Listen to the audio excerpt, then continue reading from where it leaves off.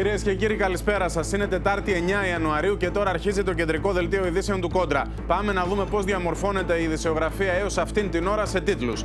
Ανακοχή 48 ωρών στην κυβέρνηση. Μεθαύριο η συνάντηση Τσίπρα Καμένου. Τι μηνύματα στέλνει απόψε στον πρόεδρο των Ανεξαρτήτων Ελλήνων, ο Αλέξης Τσίπρας. Εμπλέκει τον πρόεδρο της Δημοκρατίας η Νέα Δημοκρατία.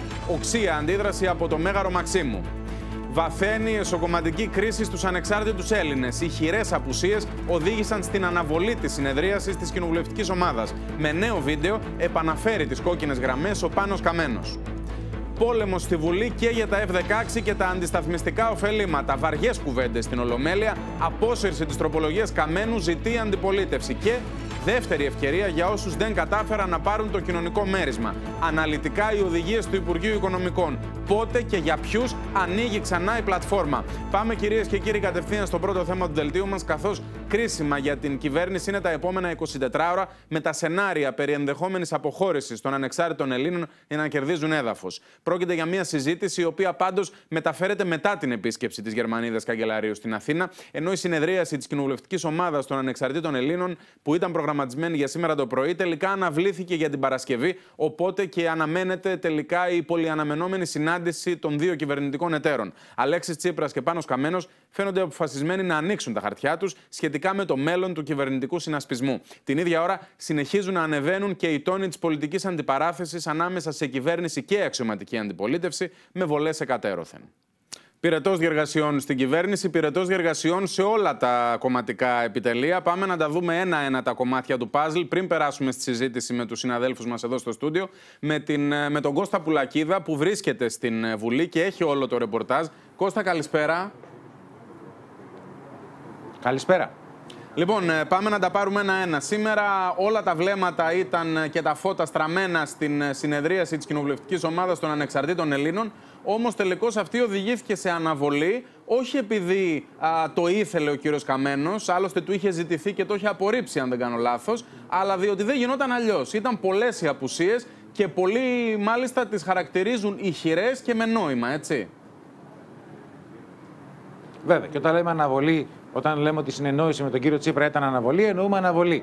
Λοιπόν, ας ξεκινήσουμε από του ανεξάρτητου Έλληνε να τελειώσουμε με το ποτάμι, το οποίο είχε και τις τελευταίες πιο πρόσφατες εξελίξεις ε, ως προς τη θέση του. Οι, οι ανεξάρτητοι Έλληνες, λοιπόν, σήμερα έπρεπε να ε, συνεδριάσει η εκτελεστική επιτροπή του κόμματος και η κοινωνιστική ομάδα.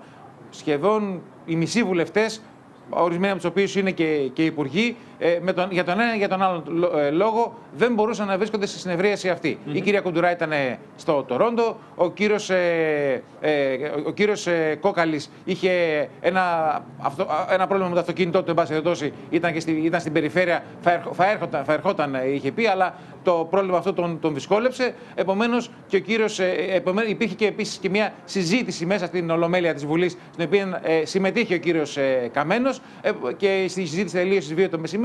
Επομένως, δεν υπήρχε κανένας λόγος να ταλαιπωριέται πια οι ανεξάρτητοι Έλληνες. Ακυρώθηκε η συνεδρία της κοινοβουλευτικής ομάδας. Έγινε μόνο μια συνεδρίαση της Εκτελεστικής Επιτροπής, η οποία αποφάσισε ομόφωνα από ό,τι μάθαμε, ότι θα, το κόμμα αλλάζει το σήμα του, ε, θα έχει ένα άλλο λογότυπο πια, θα έχει καινούργια συνθήματα ε, και ταυτόχρονα ε, θα, θα ξεκινήσει μια νέα πολιτική καμπάνια για την ανασύνταξή του εν ώψη των ε, εκλογών, όποτε και αυτές αν γίνουν. Αυτό το που αξίζει από την, από την εμφάνιση του νέου λογότυπου είναι να καταλάβουμε το πώς είναι προαναγγελία αποχώρησης ουσιαστικά από την κυβέρνηση, γιατί το, τα συνθήματα τα οποία συνοδεύουν, αλλά και το, ε, που συνοδεύουν το νέο λογότυπο, ε, δείχνουν ότι ε, η έμφαση βίνεται στο ότι υπάρχει ανεξαρτησία των ανεξαρτήτων Ελλήνων από τις κυβερνητικές δεσμεύσεις.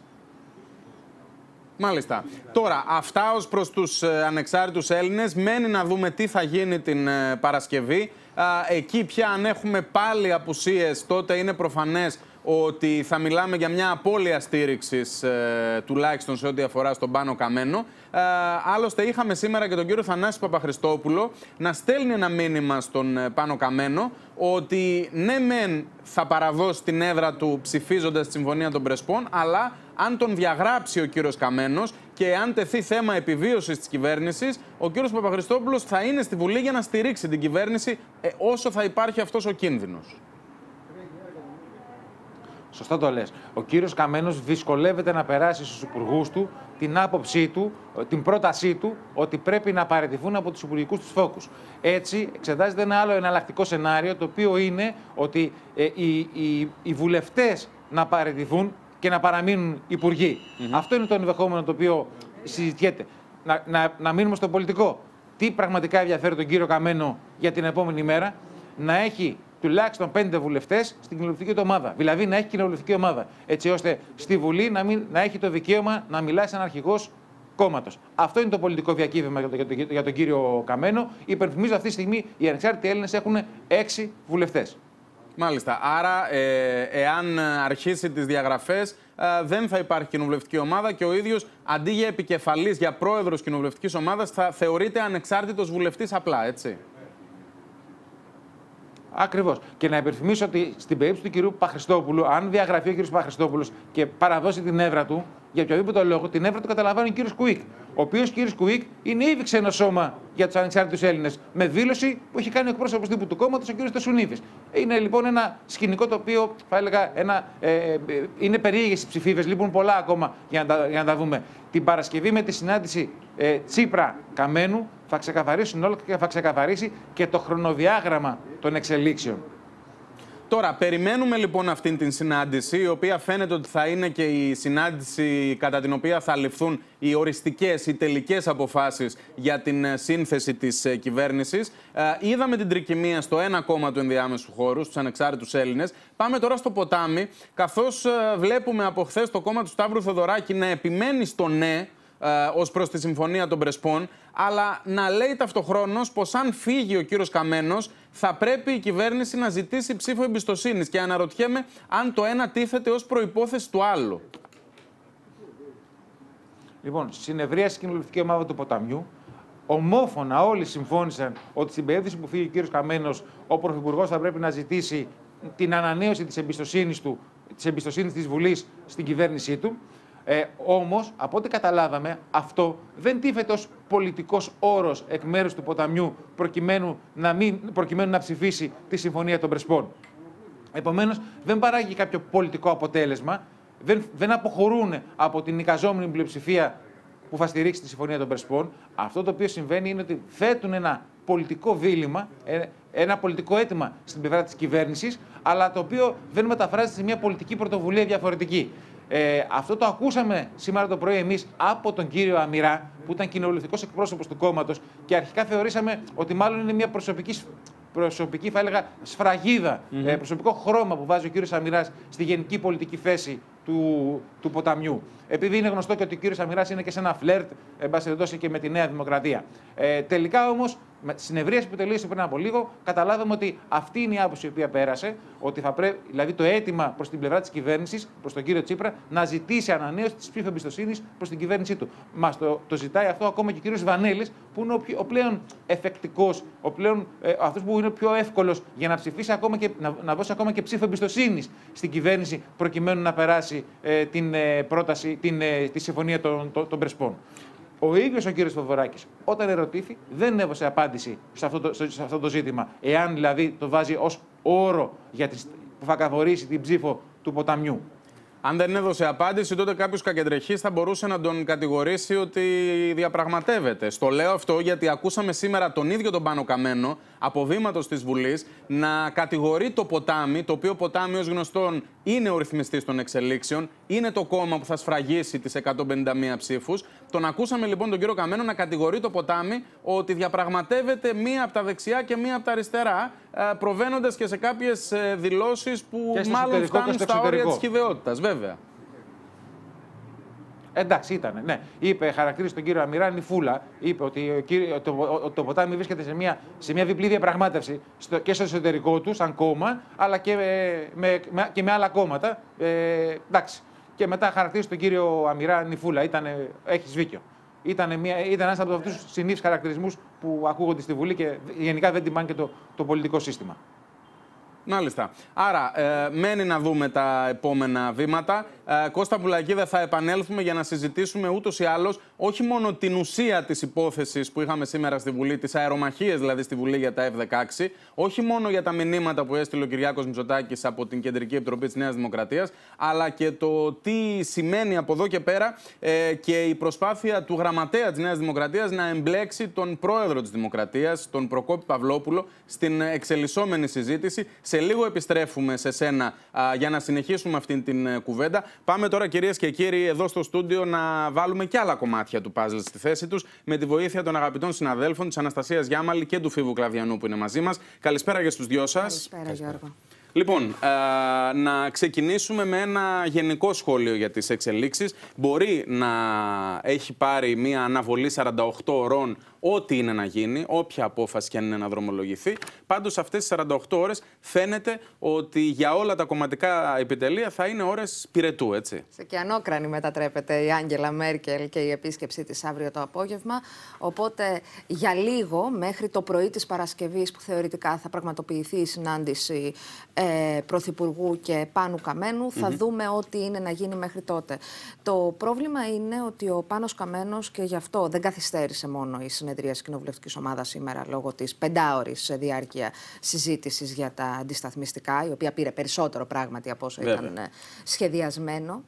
Ε, καθυστέρησε, μάλλον ανα, αναβλήθηκε για να πάει για την ε, Παρασκευή, γιατί δυστυχώς οι βουλευτές του, τα, τα, η κοινοβουλευτική του ομάδα θα γεμίζουν το ταξί.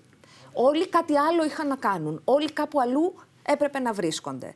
Ε, το πρόβλημα με τον ε, Πάνο Καμένο, για τον Πάνο Καμένο, δεν είναι αυτό που ξέραμε από την αρχή, ότι θα αποχωρούσε όταν έφτανε, όταν ψηφιζόταν μάλλον, όταν ψηφίζονταν η Συμφωνία των Πρεσπών από την Βουλή της ε, γείτονος. Το πρόβλημα είναι ότι ο Πάνος Καμένος σε αυτό νιώθει μόνος του.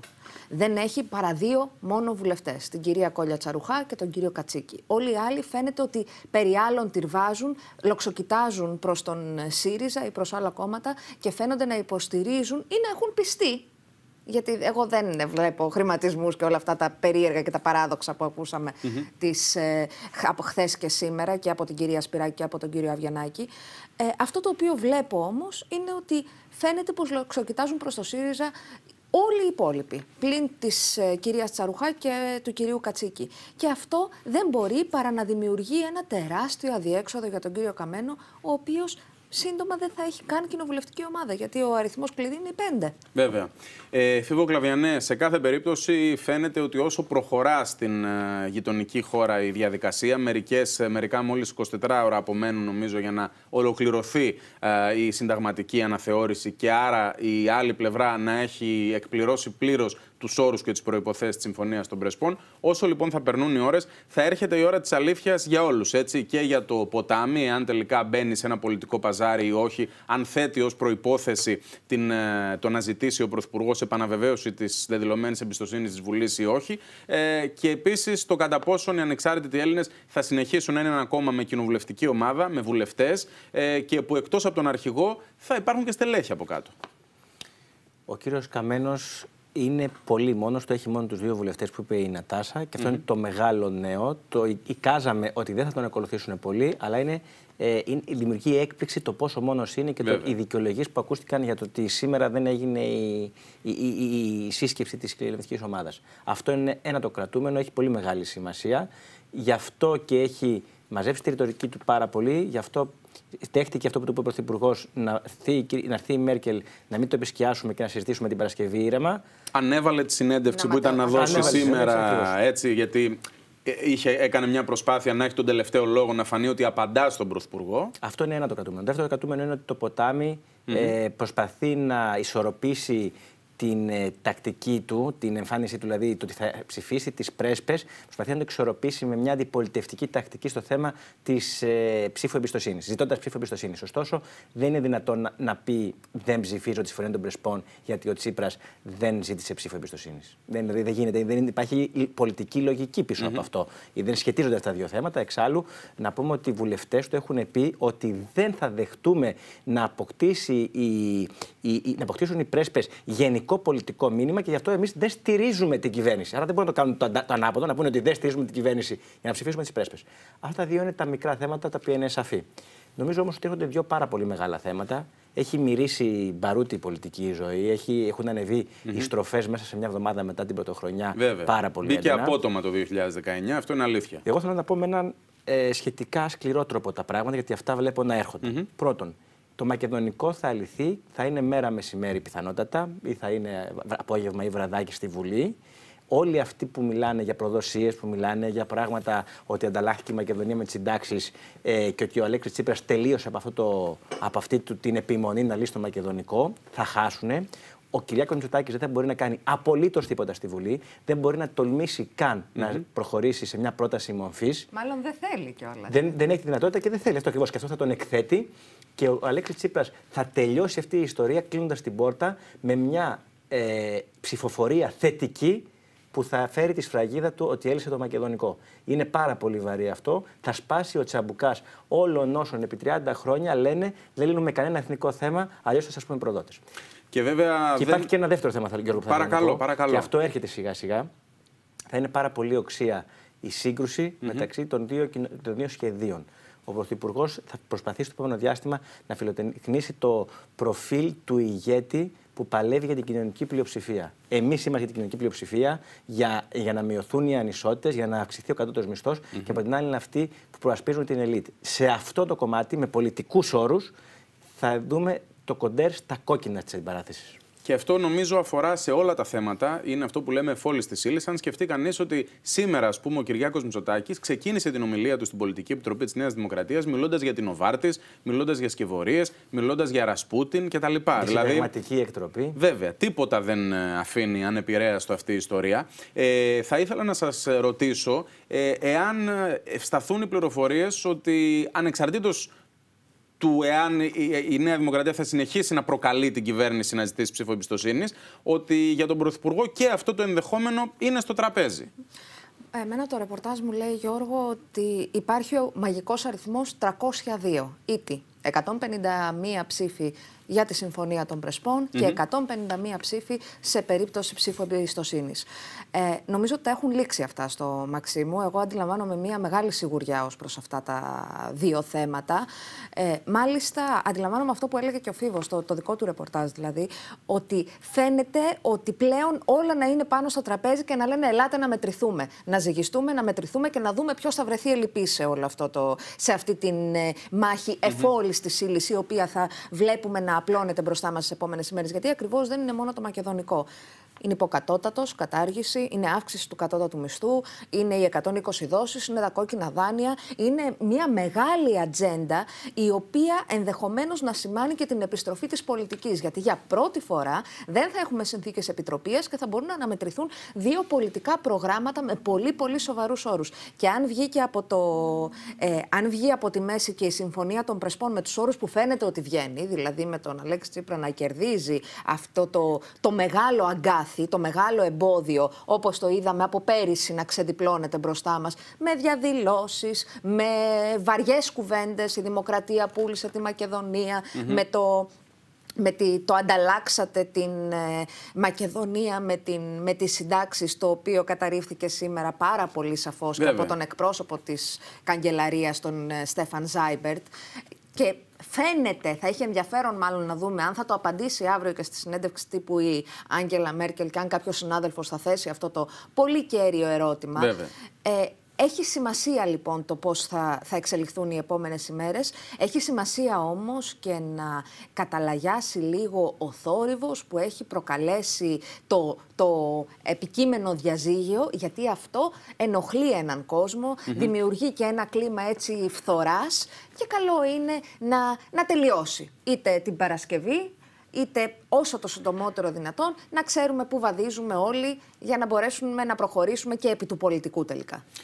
Φίβο. Έχει μη- έχει μια σημασία και το μήνυμα που θα πει η κυρία Μέρκελ για το ότι περνάει στην επόμενη μέρα η Ελλάδα. Το λέει, είναι ένα μήνυμα που θα το πει με κόστος στο οικονομικά εσωτερικό της. Ναι, ότι Βέβαια. έχει δει το μνημόνιο. Ναι. Στο εσωτερικό της δεν το βλέπουν η, η, η ακροδεξιά, το AFD, ένα μέρος του κόμματός της ακόμα. Δεν το βλέπει θετικά αυτό, θα το πει όμως.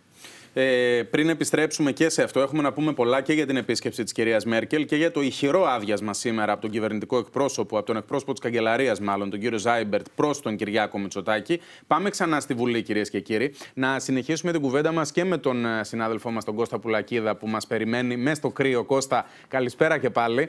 Ε, Καθώς ε, σήμερα το καλησπέρα. θερμόμετρο χτύπησε κόκκινο, όχι μόνο για την πρόταση μομφή, την πρόταση, α, την ψήφο εμπιστοσύνης ή την, ε, το διαφαινόμενο διαζύγιο, αλλά και για μια τροπολογία του Υπουργείου Εθνικής Άμυνας που επαναφέρει, όπως τουλάχιστον τον κατηγόρησαν τον κύριο Καμένο, στελέχη από όλη την αντιπολίτευση, τα αντισταθμιστικά ωφελήματα. Ναι, τα αντισταθμιστικά ωφελήματα, να θυμίσουμε, ήταν ο πυρήνας των σκανδάλων στον χώρο των εξοπλιστικών προγραμμάτων. Τι ήταν, σε κα... τι, τι, τι, κάναμε μέχρι το 2011, σε κάθε αγορά που γινόταν, σε κάθε εξοπλιστική προμήθεια, υπήρχαν και τα αντισταθμιστικά ωφελήματα, που ουσιαστικά ήταν χρήματα που πήγαιναν σε ελληνικές εταιρείες, μέσω των οποίων κατευθύνονταν, στέλνονταν ένα μέρος στο, στο ελληνικό πολιτικό σύστημα. Ε, για να σπάσει λοιπόν αυτό το απόστημα, το 2011 δείξε ένας νόμος που κατήργησε αυτόν τον τρόπο, αυτό, αυτή, αυτή, τη μέθοδο. Ε, πλέον, όποιος, όποια εταιρεία θέλει να εμπλέκεται με εξοπλιστικά θα παίρνει απευθείας την εργασία την, την, την, οποία, ε, την, την οποία επιδιώκει. Ε, να υπενθυμίσουμε επίσης ότι και ο κύριος Τσίπρας έχει πει ότι δεν υπάρχουν αντισταθμιστικά στις συνθήκες οι οποίες θέλει, στα εξοπλιστικά προγράμματα τα οποία προωθεί η κυβέρνηση. Τι είχαμε όμως εδώ, είχαμε μια οφειλή της, ε, των ΗΠΑ, μάλλον της Lockheed, της Lockheed, που είναι η εταιρεία η οποία έχει πουλήσει στην Ελλάδα τα F-16. Μία φυλή λοιπόν η οποία είναι από το 2005, η οποία ήταν γύρω στα 230 με 260 εκατομμύρια ευρώ. Ε, στις συζητήσεις που έγιναν τώρα, ετέθη το ζήτημα αυτής της οφειλής εκ μέρους της ελληνικής πλευράς. Η, οι, οι Αμερικανοί λοιπόν είπαν ότι εμείς δεν έχουμε κανένα πρόβλημα και να δώσουμε αυτά τα χρήματα, να δώσουμε αυτές, ε, αυτά τα αντισταθμιστικά τα οποία όντως τα οφείλουν από τότε που αγοράστηκαν τα αεροπλάνα. Υπενθυμίζω τώρα τα αεροπλάνα αναβαθμίζονται. Αυτή είναι μια άλλη προμήθεια, η οποία γίνεται επί της κυβερνήσεως ΣΥΡΙΖΑ. Ε, αυτή ήταν η υπόθεση. Ε, Προφανές ήταν ότι γεύτηκαν ερωτήματα όχι μόνο από την αντιπολίτευση, αλλά και από κυβερνητικούς βουλευτές ο κύριος Φίλης, ο κύριος Ξιδάκη που αναφέρθηκε, ο κύριος Τόσκας, ο οποίος γνωρίζει πολύ καλά και τα στρατιωτικά θέματα, είπανε και έθεσαν ερωτήματα. Η απάντηση του κυρίου Καμένου ήταν αφού εξήγησε καταρχήν πού, οφείλονται, ε, πού οφείλεται αυτή η παρουσία, το, αυτά τα, τα αντισταθμιστικά, ότι δεν είναι δηλαδή από τη δική του συμφωνία, αλλά είναι παλαιό, παρακολούθημα παλαιότερη συμφωνία ε, ο κύριος Καμένος συμφώνησε ότι πρέπει να υπάρξει ενημέρωση της Βουλής. Η αντιπολίτευση, να θυμίσουμε, Νέα Δημοκρατία ε, και Πασόκ και μάλιστα κορυφαία στελέχη της Νέας Δημοκρατίας. Έτσι, ο κύριος Βέντο, ο κύριος Γεωργιάδης, η κυρία Μπακογιάννη, ο κύριος Κίλια, ο κύριος Χατζηδάκης, οι δύο αντιπρόεδροι δηλαδή, του κόμματος ήρθαν, ήρθαν ό,τι καλύτερο έχει η Νέα Δημοκρατία, προκειμένου να ζητήσουν την απόσυρση της τροπολογίας. Ήρθε και ο κύριος Βενιζέλος, που ήταν αυτός ο οποίος το 2011 έχει ψηφίσει την κατάργηση των αντισταθμιστικών. Ε, ζητούσαν την κατάργηση, την απόσυρση της τροπολογίας αυτής. Τελικά δεν, θα, δεν υπήρξε καμία απόσυρση. Η τροπολογία αυτή ε, θα ψηφιστεί με ονομαστική ψηφοφορία το, το μεσημέρι της Δευτέρας. Πριν όμως την Παρασκευή θα συνευριάσει όπως θα έπρεπε να έχει γίνει η Επιτροπή Εξοπλιστικών Προγραμμάτων της Βουλής και η Επιτροπή Εξωτερικών και Άμυνας και θα υπάρξει ενημέρωση αναλυτική για τα χρήματα αυτά, για τα 230 ε, με 260 εκατομμύρια, πού θα πάνε, σε ποιες εταιρείες θα πάνε ε, σε, σε, και μάλιστα σε λίστα από ό,τι μάθαμε. Να σας, να σας πω επίσης ότι από αυτά τα 200 περίπου 30 εκατομμύρια, τα 180 ε, θα πάνε στην ελληνική ε, αεροπορική βιομηχανία, στην ΕΑΔ το οποίο είναι πάρα πολύ κρίσιμο για τους 1.300 εργαζόμενους που είναι εκεί για να συνεχίσουν την εργασία τους και να μην ανοιχτεί μία βάση η οποία πραγματικά έχει πολύ μεγάλη σημασία για την Ελλάδα γιατί είναι και, ε, είναι, είναι και από τις πλέον ε, από τις καλύτερες που υπάρχουν στην ε, Νοτιοανατολική Μεσόγειο. Έχεις πολύ δίκιο που το επισημαίνεις. Ούτως ή άλλως ε, είναι κάτι παραπάνω από αυτονόητο το γιατί ε, μια χώρα πρέπει να έχει αμυντική βιομηχανία και όχι να εξαρτάται ακόμα και για σφαίρες από άλλες ε, χώρες. Κώστα Πουλακίδα, επειδή σήμερα εκτός από την ουσία της υπόθεση. Γιώργο, θέλω να σου πω ότι η, ναι. Τουρκία, η Τουρκία έχει φτιάξει στρατιωτική βιομηχανία χάρη στα αντισταθμιστικά που έπαιρνε από τις ΗΠΑ τα προηγούμενα χρόνια. Και έχει φτιάξει και καλή στρατιωτική βιομηχανία. Απλώς αυτό θέλει μια προσοχή γιατί στην περίπτωση της Τουρκίας προφανώς τα αντισταθμιστικά δεν πήγαιναν στην Ελβετία. Κάτι το οποίο, όπως φαίνεται και από την ε, λίστα των φυλακισμένων στον Κορυδαλό, ε, συνέβαινε στην Ελλάδα. Ε, μείνε μαζί μας πριν περάσουμε στα της Νέας Δημοκρατίας και στην απόπειρα εμπλοκής του πρώτου πολίτη της χώρας, του Προκόπη Παυλόπουλου, στην πολιτική αντιπαράθεση. Πάμε να δούμε, να πάρουμε λίγο κλίμα από όσα έγιναν σήμερα στη Βουλή, καθώς είχαμε αντιπαράθεση για τα αντισταθμιστικά ωφελήματα και είχαμε και πολύ βαριές κουβέντες. Ξανανοίγουμε την ε, κουβέντα. Εδώ στο στούντιο Αναστασία Γιάμαλη, Φίβος Κλαδιανό. Στη Βουλή ο Κώστας Πουλακίδας, ο συνάδελφός μας. Ε, Κώστα, ε, πάμε λίγο στα της ε, Νέας Δημοκρατίας. Ε, είχαμε σήμερα σκληρές εκφράσεις από τον Κυριάκο Μητσοτάκη. Γιώργο, οποίος... πριν, φύγω, πριν φύγουμε από τη Βουλή. Και... Mm-hmm. Πριν φύγουμε από τη Βουλή να πάμε στα τη Νέα Δημοκρατία, θέλω να σου πω ότι υπήρχε και άλλο επεισόδιο με τον κύριο Γεωργιάδη. Ο κύριο Γεωργιάδη έφυγε από την Ολομέλεια, ανέβηκε στην, ε, στην αίθουσα που συνευρίαζε η Επιτροπή για τη Συνταγματική Αναθεώρηση και μίλησε εκεί, αναφέρθηκε στο προσωπικό του ζήτημα. Το γνωστό θέμα με την Νοβάρτη που αναμένουμε εντός των επόμενων ημερών να ασκηθούν και οι διώξεις. Θυμηθείτε το αυτό. Και από εκεί και, και εκεί κατηγόρησε, χαρακτήρισε όλους τους Ιριζέου ως φασίστες.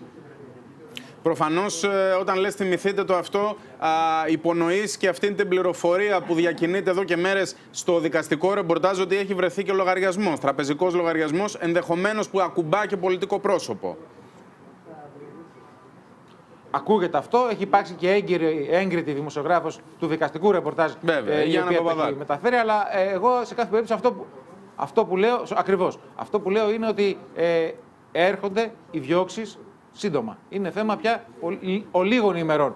Όχι, όχι πια πολλών εβδομάδων όπως ήταν πριν από έως πρόσφατα.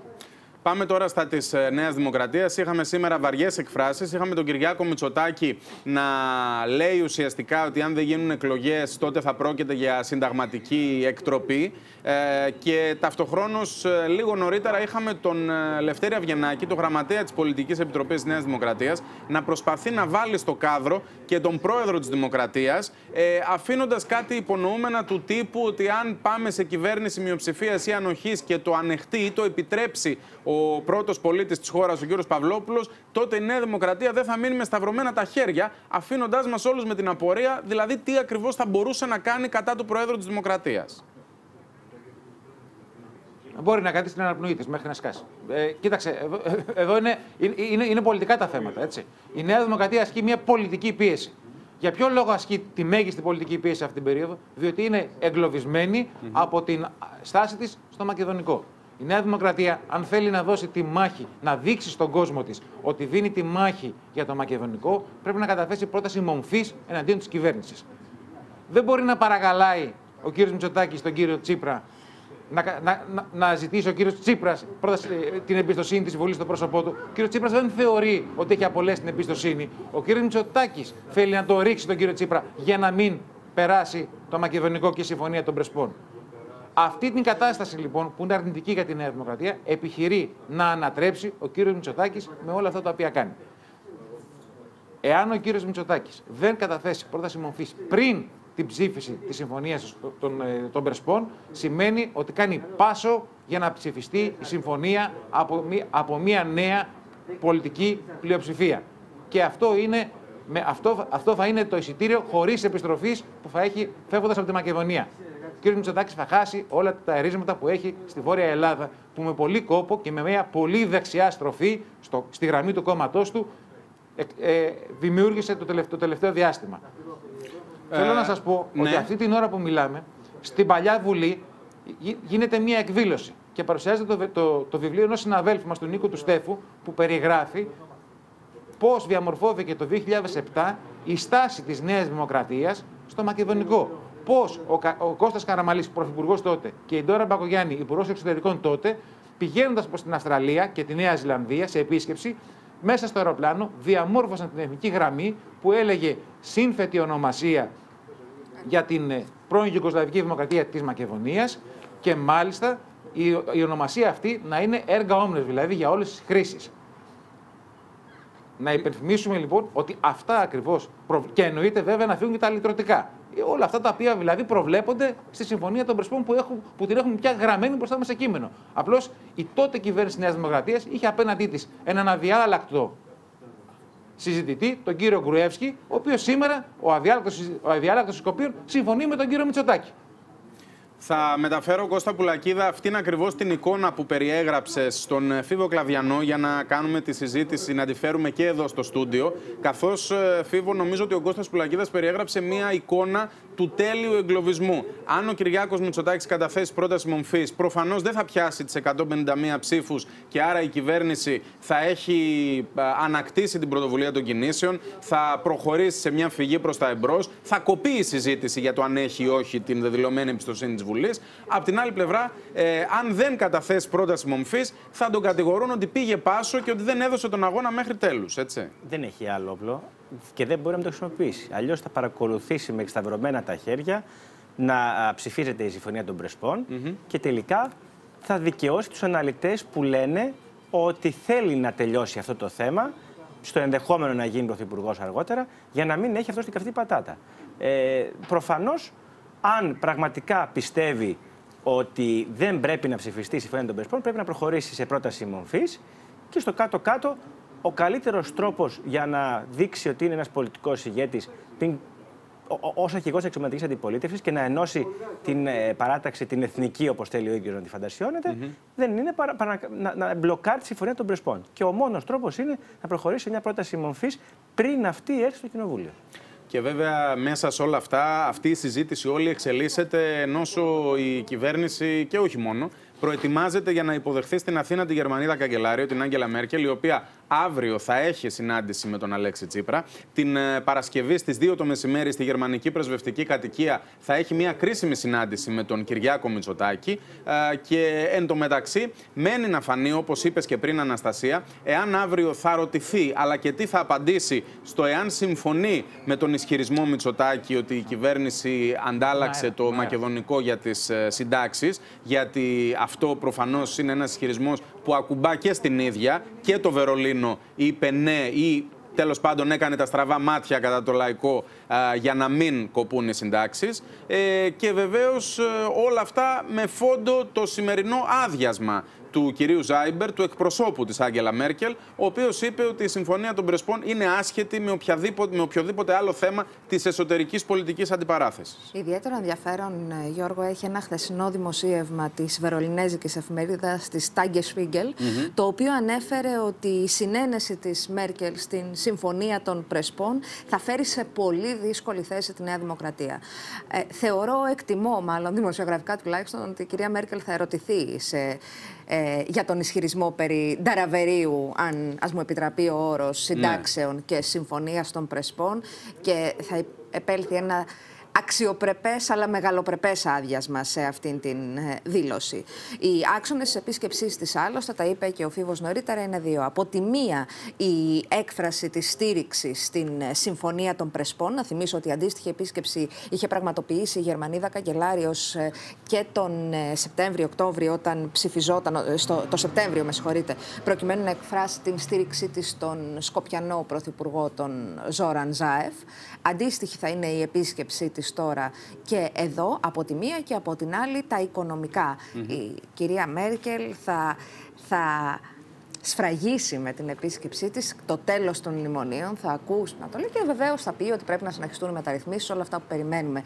Τονίζοντας όμως ότι πλέον η Ελλάδα έχει βγει από τα μνημόνια. Και δεν την κυνηγάει κανένας. Αυτό, αυτό το να έρθει εδώ η Μέρκελ και να μην πει κάτι άσχημο σημαίνει ότι η Ελλάδα έχει ρίξει κανονικότητα. Και αυτό είναι ένα μήνυμα στις αγορές. Πολύ σημαντικό μήνυμα στις αγορές. Βέβαια. Πολύ σωστά. Να θυμίσουμε βέβαια, επειδή η πρέσπες είναι το θέμα μας εδώ, ότι χθες ε, ο κύριος Κατρούγκαλος, Υπουργός Εξωτερικών, αναπληρωτής, συνάντησε τον Τζέφρι Πάγιατ, τον ε, Αμερικανό πρέσβη και εξέφρασαν και οι δύο την κοινή τους εκτίμηση ότι η Συμφωνία των Πρεσπών συμβάλλει στη σταθερότητα στην ευρύτερη περιοχή και στην ενίσχυση του όρου της Ελλάδας. Να θυμηθούμε ότι ο Ζόραν Ζάεφ στην συνέντευξη που είχε δώσει στην Τρισέλιδη, στην εφημερίδα των συντακτών, είχε πει ότι η Ελλάδα παραδέχθηκε ότι η Ελλάδα θα παίζει ηγεμονικό ρόλο μετά την ψήφιση της Συμφωνίας των Πρεσπών. Οπότε νομίζω ότι και η διεθνής κοινότητα, ο διεθνής παράγοντας, αν μη τι άλλο, αναγνωρίζει και τον ιδιαίτερο και την ενίσχυση του γεωπολιτικού status quo της χώρας μας από την ε, μία και στηρίζει από την άλλη τη νέα σελίδα που καθίσταται απολύτως σαφές ότι έχει γυρίσει για τη χώρα μας. Μάλιστα.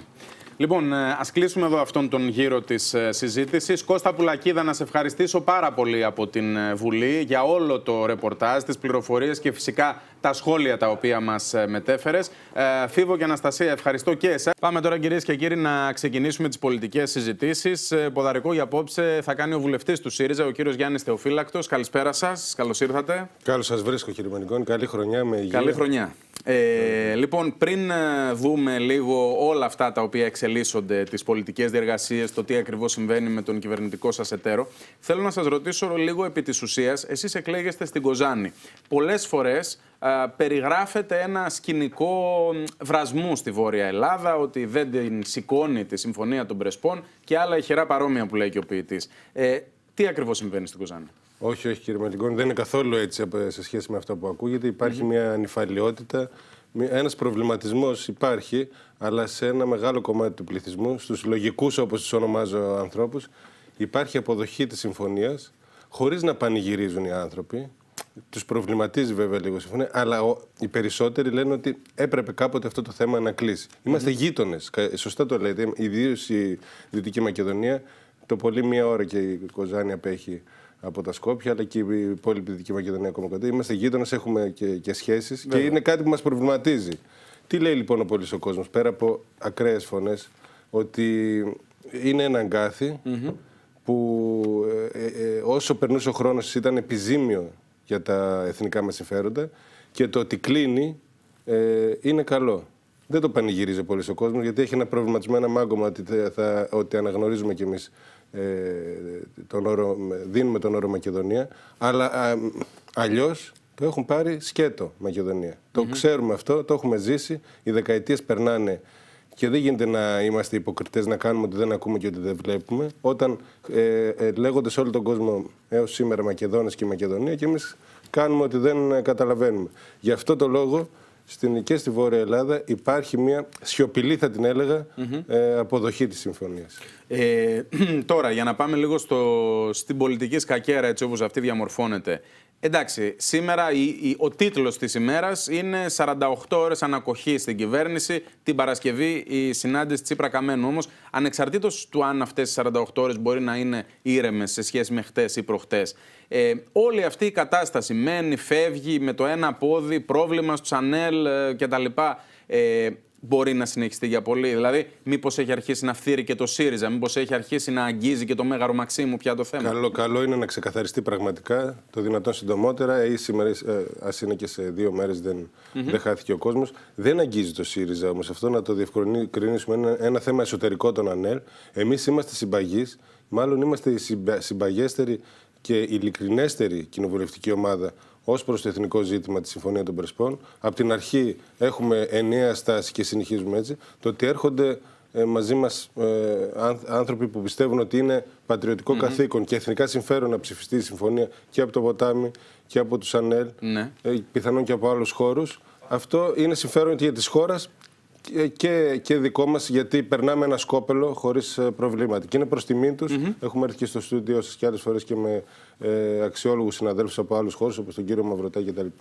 ή τον κύριο Δανέλη, που με επιχειρήματα τεκμηριωμένα ε, αιτιολογούν τις τάσεις τους. Και δεν, δεν υπάρχει τίποτα άλλο. Εμείς λοιπόν ε, δεν μας αγγίζει αυτή η αυτή η αναδιάταξη στο πολιτικό σκηνικό, γιατί παραμένουμε ε, μια ισχυρή κοινοβουλευτική ομάδα των 145-146 βουλευτών. Ε, αυτό που λέτε προκύπτει και από το ρεπορτάζ. Εγώ ε, σας ρωτάω αν σας αγγίζει αυτό το κλίμα φθοράς, το κλίμα εσωστρέφειας, ε, το οποίο εξ αντικειμένου υπάρχει στην κυβέρνηση. Όταν ο ένας από τους δύο κυβερνητικούς εταίρους είναι με το ένα πόδι μέσα, τη μια λέει θα φύγει, μετά μιλάει για αποστάτες και διάφορα άλλα τέτοια.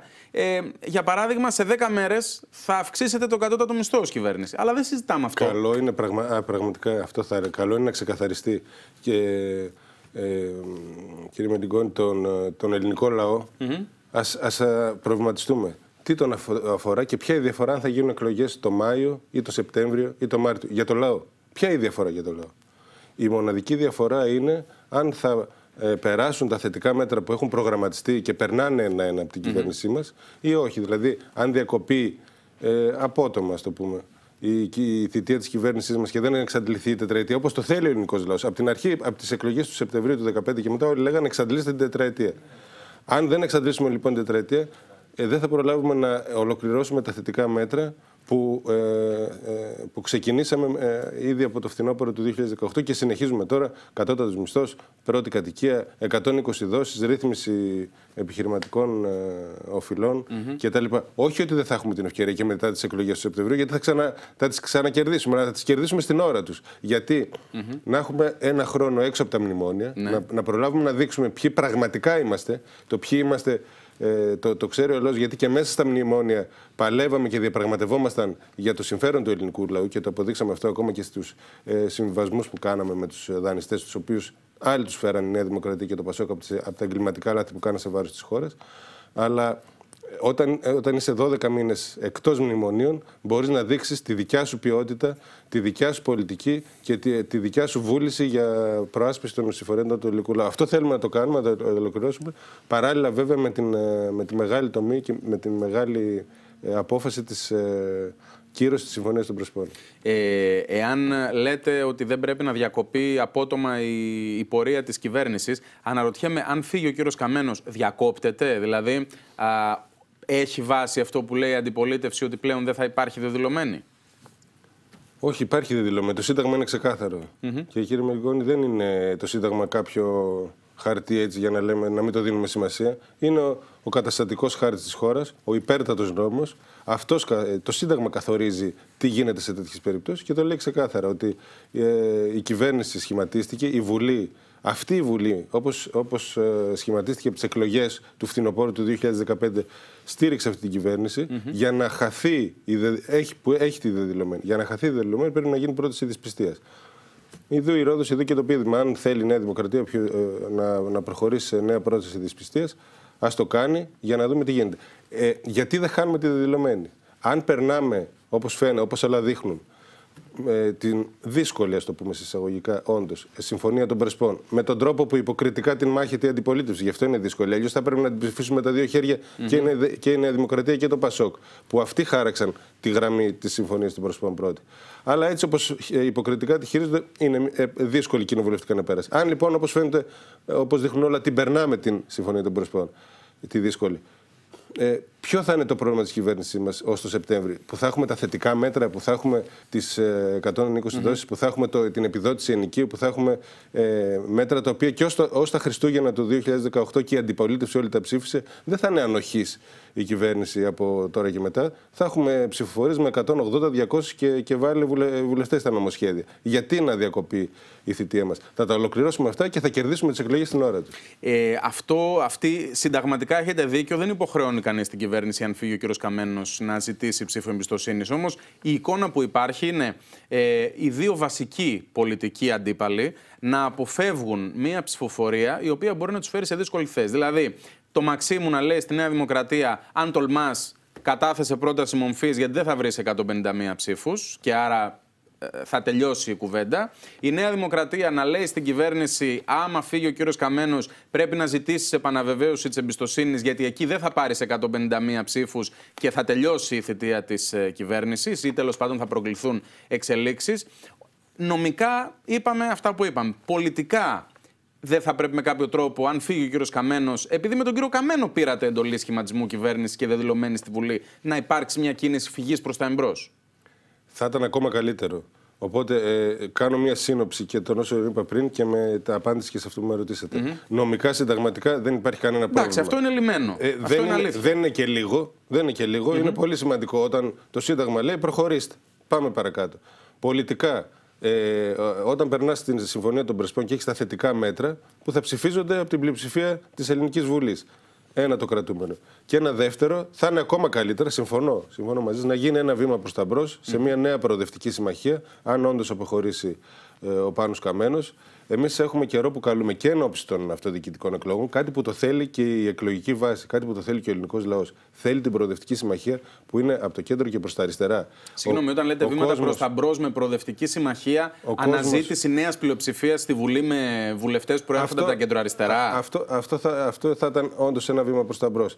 Δεν είναι ε, απαραίτητο εκ των όνου κάνευ, αλλά θα, θα ήταν ε, κάτι ωφέλιμο πολιτικά και που ανταποκρίνεται, αυτό πάντα έχω στο νου μου ως, ως γνώμονα, ότι ανταποκρίνεται στις προσδοκίες του ελληνικού λαού. Ασχέτως τι κάνει η ηγεσία ε, του Κινάλ, η εκλογική βάση όπως τη συναντάμε στην επαρχία, στα χωριά, στα καφενεία κτλ. Η εκλογική βάση που ψήφιζε Πασόκ, οι περισσότεροι βέβαια έχουν μετατοπιστεί ήδη στο ΣΥΡΙΖΑ, αλλά και αυτοί που μείναν θέλουν τη σύμπραξη ε, στον προοδευτικό χώρο και όχι με τη Νέα Δημοκρατία όπως σχεδιάζει ε, πιθανότατα η ηγεσία της. Μάλλον εκεί πρέπει να έχουν αλλαγή πλεύσης. Ήδη αρκετά ηγετικά ε, στελέχη τους δείχνουν προς αυτή την κατεύθυνση. Μένει να ολοκληρωθούν αυτές τις διαδικασίες. Είναι κάτι που το παρακολουθούμε με ενδιαφέρον και περιμένουμε εξελίξεις. Ε, Πώς όμως απαντάτε στην κατηγορία η οποία απευθύνεται προς τον ΣΥΡΙΖΑ και από στελέχη του κινήματος αλλαγής, ότι κάπως αργά τη θυμηθήκατε την κεντροαριστερά. Συγκυβερνήσατε 3,5 χρόνια με τον κύριο Καμένο και τώρα που φαίνεται ότι οι δικές του πολιτικές αντοχές, τα δικά του πολιτικά καύσιμα εξαντλήθηκαν, ε, τώρα ξαφνικά μισό χρόνο περίπου και κάτι πριν τη λήξη της ε, θητείας της κυβέρνησης στρέφεστε προς τα κεντροαριστερά. Είναι ειλικρινές αυτό το ενδιαφέρον; Ε, είναι ειλικρινές γιατί δεν είναι έτσι με τα δεδομένα που το θέσατε στην ερώτησή σας. Ε, έχουμε καιρό τώρα που και σε μείζωνα ζητήματα, όπως η απλή αναλογική, ε, το, η, η, τροποποίηση του, των νόμων που αφορούσαν την υγεία, έχουμε πολλές φορές ανοίξει παράθυρο διαλόγου προς την κεντροαριστερά και λέμε: Ορίστε, περνάμε πράγματα τα οποία τα έχετε προτείνει εσείς παλιότερα. Περνάμε πράγματα τα οποία είναι, στο, είναι στην προγραμματική σας ε, βάση. Περνάμε πράγματα που ο κόσμος που σας ψήφιζε ή και σας ψηφίζει ακόμα συμφωνεί. Γιατί δεν έρχεστε να τα βρούμε; Και ιδίως τον, τον τελευταίο χρόνο έχουμε ανοίξει ένα παράθυρο διαλόγου και σε πολλές περιοχές της χώρας ε, εν ώψη και των αυτοδιοικητικών εκλογών. Έχουμε περιπτώσεις που υπάρχουν, ε, υπάρχουν τέτοιες συμπράξεις που θα θέλαμε αυτό να, να, να μην είναι μεμονωμένες, αλλά να επεκταθεί και σε άλλες. Δεν ισχύει λοιπόν ότι τώρα θυμηθήκαμε, όπως κάποιοι μάλλον είτε κακοπροαίρετα είτε από ελληπή πληροφόρηση το αναφέρουν. Καθόλου δεν είναι έτσι. Από την αρχή της θητείας μας ως αριστερό κόμμα ε, γυτνιάζουμε με την κεντρική αριστερά και το άμεσο ενδιαφέρον μας είναι εκεί. Μάλιστα. Κύριε Θεοφύλακτε, να σας ευχαριστήσω θερμά για την ε, παρουσία σας στο Δελτίο Ειδήσεων Εγώ του Κόντρα. ευχαριστώ. Καλό σας βράδυ.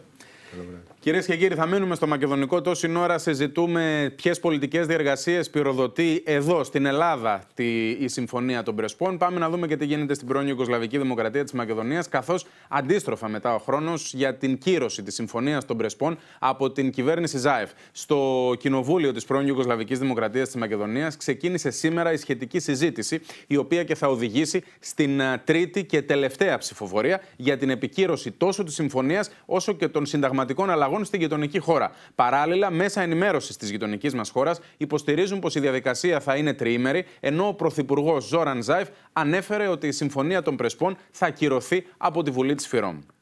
Μένουμε στο θέμα. Φίβος Κλαβιανός και Αναστασία Γιάμαλ ξανά εδώ μαζί μας. Ε, Αναστασία, να ξεκινήσουμε από σένα, καθώς ε, ε, έχει ξεκινήσει η διαδικασία στην Βουλή της ε, Γείτονος, έστω και με αυτή τη μικρή καθυστέρηση λόγω της παρέτησης ενός βουλευτή της κυβέρνησης ε, ΖΑΕΦ που πρέπει να αντικατασταθεί από άλλον. Ναι, έτσι; Ναι, να πούμε βέβαια ότι ο εν λόγω βουλευτής του Σοσιαλιστικού Κόμματος, του κόμματος του κυρίου Ζάεφ, δεν παρετείται λόγω αντιδράσεων, λόγω διαφωνίας. Για καλό. Παρετείται, ναι, γιατί θα αναλάβει επικεφαλής μιας δημόσιας υπηρεσίας mm-hmm. ε, της γειτονικής χώρας.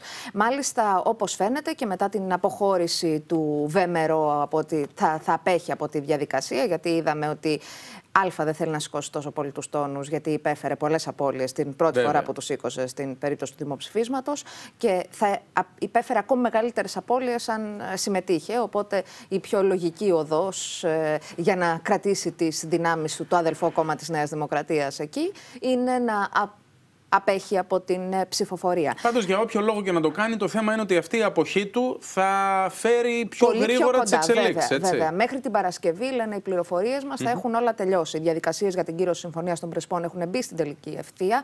Πρόκειται για μια ιστορική συμφωνία και η τελική μορφή, η οποία φαίνεται να παίρνει το τελικό κείμενο από το Κοινοβούλιο της Γείτονος, καταρρύπτει κάθε ανιστόρητο και εκτός πραγματικότητας ισχυρισμό και περί εθνότητας και περί αλυτρωτισμών και περί δίθεν μακεδονικής μειονότητας. Ξεκίνησε λοιπόν σήμερα το μεσημέρι στην Ολομέλεια της Βουλής η συζήτηση επί των τεσσάρων τελικών τροπολογιών που κατέθεσε η κυβέρνηση, καθώς και ακόμη κάποιων τροπολογιών επί του εφαρμοστικού νόμου του Συντάγματος. Έχει σημασία να πούμε ποιες είναι οι τέσσερις τελικές τροπολογίες του Συντάγματος, που είναι και η Συμφωνία των Πρεσπών στην ουσία. Λοιπόν, αυτές είναι η αλλαγή του ονόματος της χώρας, το προήμιο του συντάγματος, η μέρημνα της πολιτείας για τη διασπορά, αυτό που λέγαμε που άφηνε ανοιχτές, ε, ανοιχτή τη συζήτηση περί μειονότητας, κλείνει άπαξ διαπαντός. Είναι ε, αντιγραφή του αντίστοιχου ελληνικού άρθρου. Ακριβώς. Το 118, αν δεν κάνω λάθος. Ναι. Λοιπόν, το σεβασμό λοιπόν και το σεβασμό της εδαφικής ακαιρεότητας και της εθνικής κυριαρχίας των γειτονικών χωρών της πρώην Ιουγκοσλαβική Δημοκρατίας της Μακεδονίας. Ε, Στις τροπολογίες επί του εφαρμοστικού νόμου του Συντάγματος, διευκρινίζεται ότι από τη στιγμή που τεθεί σε ισχύ η αλλαγή της ονομασίας της χώρας σε Δημοκρατία της Βόρειας Μακεδονίας, η υπηκότητα θα είναι μακεδονική πολίτης της Δημοκρατίας Βόρειας Μακεδονίας, το οποίο δεν προσδιορίζει ούτε προκαθορίζει την εθνότητα στην οποία ανήκουν οι πολίτες. Αυτό γιατί, γιατί ε, ο κύριος Ζάεφ προσπαθεί να έρθει σε συμφωνία με τέσσερις ακόμη ε, βουλευτές της ε, ε, Αλβανούς της αντιπολίτευσης του Αλβανικού κόμματος. Το ένα από αυτό είναι το Μπέσα, αν δεν ε, κάνω Ναι. λάθος για να είμαι σωστή. Ε, οι οποίοι θέλουν να είναι σαφές ότι δεν υπάρχει μία εθνότητα. Αυτό είναι ακόμη περισσότερο προς το δικό μας Βέβαια. ε, συμφέρον να διευκρινιστεί έτσι περαιτέρω. Λοιπόν, ε, η συζήτηση για κάθε μία από τις τροπολογίες μπορεί να διαρκέσει έως και τρεις ημέρες. Ωστόσο, δεδομένης ακριβώς της απουσίας του ΒΜΡΟ, φαίνεται ότι όλα θα έχουν τελειώσει μέχρι την Παρασκευή και μετά ανοίγει ο δρόμος για να έρθει η συζήτηση προς τα εδώ. Ε, είναι σαφές ότι ο Ζόραν Ζάεφ φαίνεται να έχει εξασφαλίσει ε, και τους Αλβανούς βουλευτές, ακριβώς με τις τροπολογίες που είπαμε και με τις διευκρινήσεις που είπαμε, ε, και είναι πιθανό να κερδίσει και περισσότερες από 80 ψήφους. Ε, αυτό καταλαβαίνουμε ότι ενισχύει ακόμη περισσότερο την δυναμική της Συμφωνίας των Πρεσπών και στη γειτονική μας χώρα που είναι καλό να είναι όσο πιο ισχυρή, ε, ισχυρό το πέρασμά της όσο Μάλιστα. γίνεται. Τώρα, αυτά στα Σκόπια. Πάμε να κατέβουμε στην ε, Αθήνα Φίβο. Ε, Καθώς είπαμε, αύριο περιμένουμε την ε, Άγγελα Μέρκελ και υποθέτω ότι η Γερμανίδα Καγκελάριος ε, αυτό που θα κάνει θα είναι να δείξει πόσο πολύ εκτιμά το Βερολίνο την ε, Συμφωνία των Πρεσπών και την. Ε, μ, την ε, ένταξη της πρώην Ιουγκοσλαβικής Δημοκρατίας της Μακεδονίας σε ένα περιβάλλον σταθερότητας ή τουλάχιστον σε ένα πιο σταθερό περιβάλλον από αυτό στο οποίο βρίσκεται τώρα. Θα μιλήσουν για τη σταθερότητα στα βαλκανια Σε αυτό το πλαίσιο θα μπει μέσα και η Συμφωνία των Πρεσπών. Εκεί πέρα και ο, η πλευρά του, της Ελλάδας, ο Τσίπρας, θα επιχειρήσει να πει ότι δεν μας αρκεί μόνο ε, η συμφωνία ε, με τα Σκόπια. Θέλουμε να δούμε και τις άλλες χώρες της Δυτικής Βαλκανικής να αποκτούν σιγά σιγά ευρωπαϊκή προοπτική. Ε, ξέρουμε ότι ας πούμε, με την Αλβανία υπάρχουν προβλήματα, δεν, υπάρχουν χώρες όπως η Ολλανδία που δεν θέλουν να ενταχθούν Βέβαια. με ενταχθεί η Αλβανία. Και γι' αυτό βλέπουμε να έχει ενταθεί τα τελευταί- τις τελευταίες εβδομάδες η, η επιθετική ρητορική της Αλβανίας και απέναντι στην Ελλάδα και απέναντι στη Σερβία. Γιατί δεν υπάρχει πια αυτή η προοπτική. Από εκεί και πέρα είναι πάρα πολύ σημαντικό να δούμε ε, το μήνυμα πώς ακριβώς θα εκπαιδευτεί για το τέλος των μνημονίων στην Ελλάδα, είπαμε προηγουμένως, αλλά και τι θα πει η Άγγελα Μέρκελ για ένα μεγάλο κενό που υπάρχει στι γερμανικές επενδύσεις στη χώρα μας. Μέχρι στιγμής είναι πολύ φτωχή η εισοδιά, έχουν μπει άλλες χώρες, όμως η Γερμανία δεν έχει μπει και αυτό πρέπει να αποκατασταθεί. Ε, πολύ σημαντικό είναι και το μεταναστευτικό, που ταυτίζονται οι θέσεις των δύο ηγετών σε ανθρωπιστική βάση να αντιμετωπιστεί το ζήτημα και συλλογικά από την Ευρώπη. Ε, ε, ε, το σημαντικό είναι αν θα αλλάξει το πλαίσιο, το ευρωπαϊκό, η- το ευρωπαϊκό πλαίσιο ασύλου πριν από τις ευρωεκλογές. Είναι δύσκολο, αλλά η Ελλάδα θέλει να πιέσει αυτή την κατεύθυνση. Ε, πάρα πολύ σημαντικό επίσης είναι η αρχιτεκτονική της Ευρώπης στο μέλλον. Βλέπουμε ότι έχει, ε, έχει φρακάρει η- το μέλλον της Ευρώπης. Δεν υπάρχει προοπτική όπως ήταν μέχρι τώρα ε, δομημένο. Υπάρχει μια λιτότητα που δεν οδηγεί πουθενά. Μάλιστα. Ο Πρωθυπουργός θα βάλει πολύ έντονα και το ζήτημα των ανισοτήτων ε, βορρά-νότου. Και φυσικά τα, ε, τα ευρωτουρκικά με το κυπριακό μέσα σε αυτό και τέλος τα ενεργειακά. Εκεί πέρα είναι πάρα πολλά αυτά που έχουν να συζητήσουν. Το Nord Stream τον προχωράει η, η κυρία Μέρκελ, εμείς θέλουμε να προχωρήσουμε και αγωγή στο Νότο. Φίβο Κλαβδιανέ, Αναστασία Γιάμαλη, να σας ευχαριστήσω και τους δύο πάρα πολύ. Καλό σας βράδυ. Καλό βράδυ. Πάμε τώρα κυρίες και κύριοι στην επόμενη πολιτική μας συζήτηση. Καλησπερίζω το Σύμβουλο Επικοινωνίας του Προέδρου της Νέας Δημοκρατίας, τον κύριο Μακάριο Λαζαρίδη. Καλησπέρα σας. Καλησπέρα, κύριε Καλή Μελιγόνη. χρονιά. Καλή χρονιά, ε, με υγεία. Καλή εκλογική χρονιά, γιατί θα έχουμε πολλές εκλογές μέσα στο 2019. Βέβαια. Και πάνω απ' όλα να έχουμε, να έχουμε υγεία. Και πάντως θα είναι μια χρονιά η οποία θα έχει και ένταση, θα έχει και πόλωση. Άκουσα σήμερα τον ε, πρόεδρό σας που μίλησε στην ε, α, νέα πολιτική σας επιτροπή και ήταν εξαιρετικά σκληρός. Αναρωτιέμαι για παράδειγμα γιατί ε, είναι θεσμική εκτροπή κάτι το οποίο προβλέπεται από το Σύνταγμα. Δηλαδή η κυβέρνηση, αν φύγει ο κύριος Καμένος, ε, δεν την υποχρεώνει το Σύνταγμα να ζητήσει α, πρόταση, να, να, να ζητήσει επαναβεβαίωση της εμπιστοσύνης της. Άρα πόθεν προκύπτει εκτροπή; Θα σας πω. Καταρχήν, ε, κύριε Μελιγκόνη, όλα αυτά τα οποία συμβαίνουν τις τελευταίες μέρες Ναι. και αναφέρομαι σε αυτή την α, α, σύγκρουση, να το πω έτσι, ανάμεσα στους δύο κυβερνητικούς εταίρους, ε, δυστυχώς ε, δεν περιποιεί ε, τιμή ούτε για την χώρα μας συνολικά, αλλά ούτε αν θέλετε και για τους ίδιους, αναφέρομαι στον κύριο Τσίπρα και στον κύριο Καμένο. Κοιτάξτε να δείτε, θέλω να θυμίσω ότι η κυβέρνηση αυτή πήρε εντολή σχηματισμού της κυβέρνησης ως κυβέρνηση συνασπισμού. Δεν πήρε δηλαδή εντολή σχηματισμού κυβέρνησης ο ΣΥΡΙΖΑ. Κατά συνέπεια. Ε, πήρε εάν εντολή σχηματισμού κυβέρνησης ο ΣΥΡΙΖΑ επειδή ήταν ο αρχηγός του πρώτου κόμματος. Πήρε, πήρε εντολή σχηματισμού κυβέρνησης. Πήρε την πρώτη διερευνητική εντολή. Για κυβέρνηση συνασπισμού. Κατά συνέπεια, αν ο κύριος Καμένος αποφασίσει να άρει, δεν, το, θα το δούμε αυτό, γιατί ο Ναι. κύριος Καμένος μας έχει συνηθίσει κύριε Μελιγκόνη σε πάρα πολλές ε, κολοτούμπες. Τώρα είδα σήμερα έβγαλε και ένα καινούριο βίντεο για κόκκινες γραμμές που στάζουν αίμα και όλα αυτά, αλλά θα το δούμε. Αν λοιπόν ο κύριος Τσίπρας, ε, ο κύριος Καμένος, άρει την εμπιστοσύνη στην κυβέρνηση, η κυβέρνηση και ο κύριος Τσίπρας έχει έναν μόνον δρόμο. Μάλλον δύο δρόμους. Ο ένας δρόμος είναι η προσφυγή στις κάλπες, ο δεύτερος δρόμος να έρθει στην Βουλή και να ζητήσει, σχη- ε, να ζητήσει νέα ψήφο εμπιστοσύνης με τη νέα κυβέρνηση την οποία θα έχει σχηματίσει. Αυτό εμείς λέμε. Γι' αυτό σας ρωτώ, το Σύνταγμα δεν λέει κάτι τέτοιο. οτιδήποτε άλλο, κύριε Μελιγκόνη, πολύ ορθά το είπε ο πρόεδρος. Και ξέρετε κάτι, ο πρόεδρος λέει κάτι το οποίο λένε και οι Έλληνες πολίτες. Μιλάμε για θεσμική εκτροπή. Να σας θυμίσω, κύριε Μελιγκόνη, ότι το 1993 Ναι. ο αείμνηστος Κωνσταντίνος Μητσοτάκης, όταν έμεινε με 150 βουλευτές, προσέφυγε στην λαϊκή ετοιμιγορία. Έχασε τις εκλογες και έφυγε. Γιατί το έκανε αυτό, γιατί ήταν βαθιά δημοκρατικός άνθρωπος, δημοκρατικός πολιτικός και θεώρησε ότι δεν μπορεί να κυβερνάει με 150 βουλευτές. Γιατί να σας θυμίσω Δεν τον ότι υποχρέωνε ακόμα, όμως το ακόμα, Σύνταγμα. Εγώ ακόμη αυτό και σας αν η ρωτώ. αντιπολίτευση, ακόμα και αν η αντιπολίτευση κατέθετε τότε πρόταση δυσπιστίας, Ναι. δεν θα έβρισκε τους 151. Άρα βλέπετε ότι πολιτικοί βλέπουν τα πράγματα κάτω από διαφορετική λογική. Τότε ο Κωνσταντίνος Μητσοτάκης είδε, θεώρησε ότι δεν έχει διαδηλωμένη, δεν έχει τους 151, θα μπορούσε να κυβερνήσει κύριε Μελιγκόνη, έτσι δεν είναι; Θα μπορούσε να Ακριβώς κυβερνήσει. αυτό σας λέω. Θα μπορούσε. Συμφωνούμε, αλλά ξέρετε, υπάρχουν εδώ Θα ήταν ζητήματα εκτροπή. τα οποία δεν έχουν να κάνουν μόνο με τον τύπο. Ναι. Έχουν να κάνουν και με την ουσία. Γιατί έχουμε μια κυβέρνηση η οποία είναι κυβέρνηση η οποία καταραίει. Και ξέρετε κάτι, έχουμε πολύ σοβαρά θέματα για να ασχολούμαστε αν θα κάνει τηλεμαχία ο κύριος Τσίπρας με τον κύριο Καμένο, ο ένας στο Open και ο άλλος στο Star. Έχουμε μια χώρα η οποία έχει οικονομικά προβλήματα, έχουμε σε εξέλιξη κρίσιμα εθνικά ζητήματα, τα οποία δεν μπορεί να διαχειριστεί μια κυβέρνηση κουρελού. Αυτό είναι αυτή σήμερα η κυβέρνηση την οποία έχουμε. Είτε αρέσει είτε δεν αρέσει, αυτή είναι η πραγματικότητα. Άρα, ο κύριος Τσίπρας για μας, το είπε σήμερα και ο κύριος Μητσοτάκης, μία λύση έχει στην ουσία να προσφύγει άμεσα σε εθνικές εκλογές.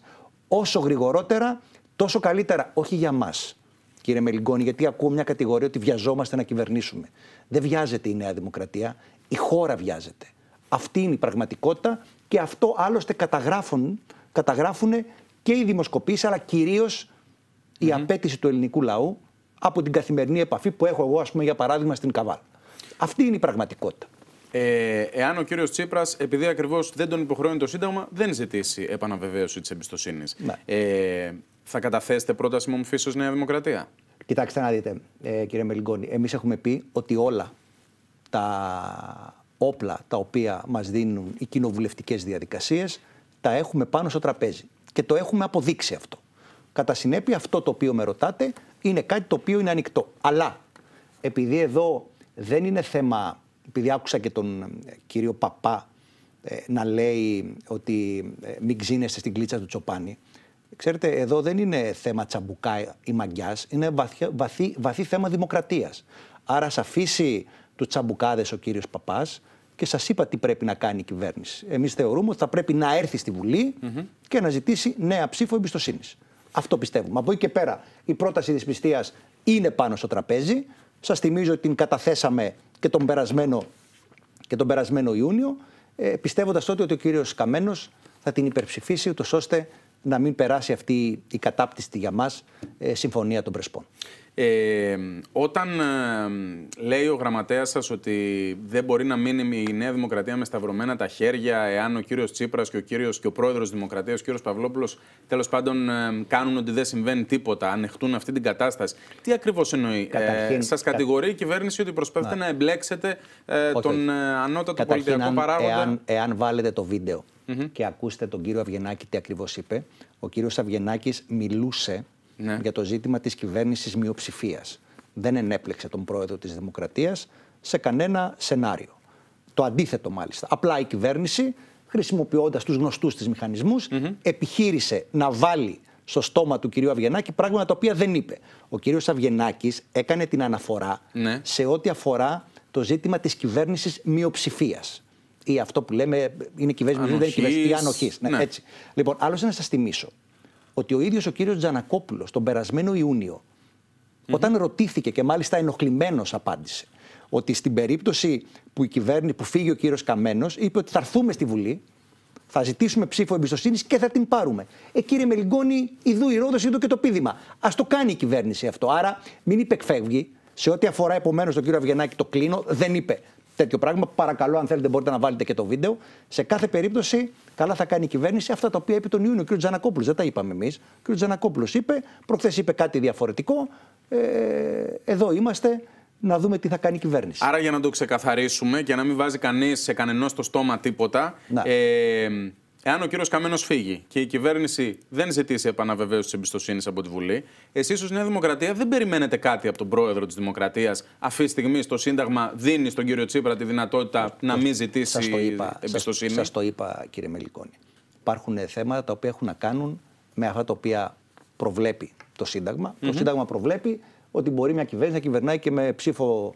Ε, να είναι η κυβέρνηση με ψηφία Με 120, 120 ναι. βουλευτές. Ναι. Αλλά σας είπα, δεν μπορει σε, σε τόσο κρίσιμη χρονική συγκυρία να έχουμε μια κυβέρνηση όπως είναι και να σέρνεται το πράγμα. Καταλαβαίνω ότι δεν θέλουν να αφήσουν τις καρέκλες τους, αλλά εδώ που έχουμε φτάσει, επειδή τα θέματα τα οποία έχουμε να διαχειριστούμε και τώρα και την επόμενη μέρα είναι πάρα πολύ κρίσιμα, το ξέρετε, είστε πολύ έμπειρος δημοσιογράφος, ασχέτως αν η κυβέρνηση πανηγυρίζει και λέει ότι η οικονομία πηγαίνει πάρα πολύ καλά, τα, τα νούμερα ευημερούν, δεν ισχύει κάτι τέτοιο. Και αν βγει κάποιος έξω το καταλαβαίνει απόλυτα. Άρα οικονομία, μεταναστευτικό, προσφυγικό, πεθαίνουν άνθρωποι στη Μόρια, κύριε. Αυτή είναι η ευαισθησία της αριστερας Να πεθαίνουν οι άνθρωποι και να μην κάνουν απολύτως τίποτα. Γι' αυτό λοιπόν λέμε ότι επειδή έχουμε μια κυβέρνηση όπως την έχουμε, που η οποία καταλαβαίνω πηγαίνει μέρα-μέρα ο κύριος Τσίπρας, προσπαθώντας να βρει, να ψάχνοντας τον κύριο Καμένο, να τα βρουν, να μην τα βρουν, να κάνουν. Αλλά αυτό δεν αφορά, ξέρετε, κύριε Μελιγκόνη, τα κόμματα, αφορά την ίδια την κοινωνία. Οι πολίτες δεν μπορούν να ασχολούνται καθημερινά με το πότε θα συναντηθούν ο κύριος Τσίπρας με τον κύριο Καμένο. Η κυβέρνηση δεν λειτουργεί. Αυτή είναι η πραγματικότητα. Γι' αυτό εμείς τι λέμε; Λέμε ότι θέλουμε εκλογές χθες. Ούτως ώστε να μπορέσουμε με, με πολύ αγώνα να επαναφέρουμε την χώρα στην κανονικότητα. Σας το έχω ξαναπεί. Με έχετε φιλοξενήσει εδώ ξανά. Η χώρα δεν είναι κανονική. Σε όλα τα επίπεδα. Ε, τώρα, θα ήθελα να σας ρωτήσω πώς θα διαχειριστείτε το ενδεχόμενο, ε, το πολύ σοβαρό ενδεχόμενο, πιστέψτε με, αύριο ε, ή όποτε εκτεθεί σε δημοσιογραφικές ερωτήσεις η κυρία Μέρκελ να επαναλάβει αυτά που είπε σήμερα ο εκπρόσωπός της, ο Στέφεν Ζάιμπερτ, ότι δηλαδή η συμφωνία των Πρεσπών δεν συνδέεται με κανένα άλλο εσωτερικό πολιτικό ζήτημα της Ελλάδας. Μία φράση η οποία, επειδή ρωτήθηκε για τις δηλώσεις του κυρίου Μητσοτάκη περί ανταλλαγής, ε, υποθέτω ότι σε δημοσιογραφική γλώσσα, επειδή και, και εσείς ε, είστε εμπειρότατος δημοσιογράφος, εκλαμβάνεται, αν όχι ως άδειασμα, τουλάχιστον ως αποστάσεις Μέρκελ από τις καταγγελίες Μητσοτάκη. Λοιπόν, καταρχήν να πούμε, κύριε Μελιγκόνη, ότι τέτοιου είδους επισκέψεις, όπως αυτή της κυρίας ε, Μέρκελ, της καγκελαρίου της Γερμανίας, είναι και ευπρόσδεκτες και σημαντικές για τη χώρα μας. Βέβαια, λίμωνο. Έτσι, να το ξεκαθαρίσουμε αυτό. Από εκεί και πέρα όμως, ε, κύριε Μελιγκόνη, ε, η Νέα Δημοκρατία και προσωπικά ο Κυριάκος ο μητσοτακης αυτά τα οποία λέει στο εξωτερικό έχουν υπάρξει ούτως ή άλλως διμερείς συναντήσεις με την κυρία Μέρκελ, αλλά και στο Ευρωπαϊκό Λαϊκό Κόμμα. Αυτά λοιπόν που λέει εκεί ο κ. Μητσοτάκης, τα λέει και στο εξωτερικό. Στο εσωτερικό της χώρας. Έχουμε ξεκαθαρίσει λοιπόν, ε, κύριε Μελιγκόνη, ότι αυτή η συμφωνία είναι μια κακή συμφωνία. Τα έχουμε συζητήσει ξανά. Μην επανερχόμαστε. Και έχουμε ξεκαθαρίσει επίσης ότι δεν πρόκειται αυτή τη συμφωνία να την ψηφίσουμε ούτε σήμερα ως κυβέρνηση, ούτε, αύριο, ε, ε, ούτε σήμερα ως αντιπολίτευση, ούτε αύριο, αν δεν την έχει κυρώσει η σημερινή κυβέρνηση, ως αξιωματική αντιπολίτευση. Το έχουμε πει Σύμφωνοι. πολύ καθαρά. Απλώς επειδή τα σε περί όλους- ανταλλαγής σε μακεδονικού όλους- με σε συντάξεις όλους- σε είναι όλους τους βαρύτερο τόνους. πράγμα. Σε όλους τους τόνους. Από εκεί και πέρα βάζουμε πρώτα και πάνω απ' όλα την χώρα και την πατρίδα μας. Δεν μπορεί κανείς να υποδεικνύει ούτε να λέει τι θα κάνουμε και πώς θα διαχειριστούμε θέματα που άπτονται του πατριωτισμού των Ελλήνων πολιτών αλλά και την ουσία του όλου πράγματος. Ο κύριος Τσίπρας είπε ναι εκεί που μια σειρά πρωθυπουργών και κυβερνήσεων είπαν όχι κύριε Μελιγκόνη. Αυτή είναι η πραγματικότητα. Άκουσα και εγώ τον εκπρόσωπο της, ε, της κυρίας Μέρκελ. Η κυρία Μέρκελ θα συναντηθεί ούτως ή άλλως την, ε, Την Παρασκευή, την δύο η ώρα, Παρασκευή ναι. στις 2 το μεσημέρι στην πρεσβευτική κατοικία, αν δεν κάνω λάθος, με τον, ε, με τον κύριο Μητσοτάκη. Εκεί θα επαναλάβουμε τις πάγιες ε, θέσεις μας.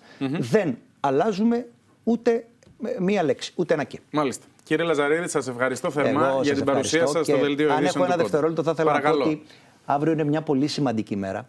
Γιατί συμπληρώνονται τρία χρόνια από την α, εκλογή του Προέδρου της Νέας Δημοκρατίας, την ηγεσία της Νέας Δημοκρατίας. Μέσα σε αυτούς τους 36 μήνες, ο κ.